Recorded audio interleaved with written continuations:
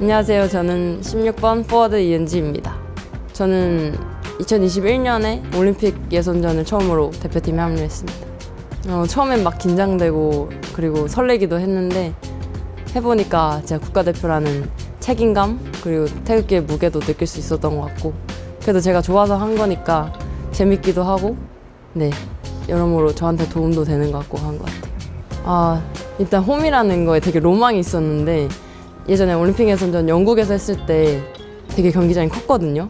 근데 그때 그 경기장의 한 면을 영국 관중이 꽉 채웠었어요. 그래서 그때 그 분위기 분위기 자체 압도되는 걸 처음 느꼈는데 그래서 와 진짜 홈이 엄청난 메리트가 있구나 라는 걸 느껴서 진짜 해보고 싶었거든요. 그래서 이번에 홈에서 하니까 근데 이제 가족들도 오고 지인들도 오니까 좀 긴장도 되고 하는데 설레는 마음이 더 큰 것 같고 그만큼 동기부여도 커서 더 열심히 하고 있는 것 같아요. 저는 한 9년, 10년 된 것 같아요. 하키 약간 특정 명사로 나타내기 좀 힘들 것 같고 일단 제가 하키를 할 때 너무 행복해요.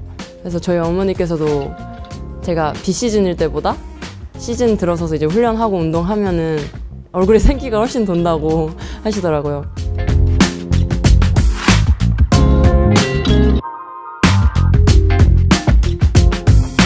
4월 17일부터 23일까지 광교 복합 체육센터에서 열리니까 많이 관심, 관심 가져주시고 많이 보러 와주셔서 대한민국 열심히 외쳐주시면 감사하겠습니다.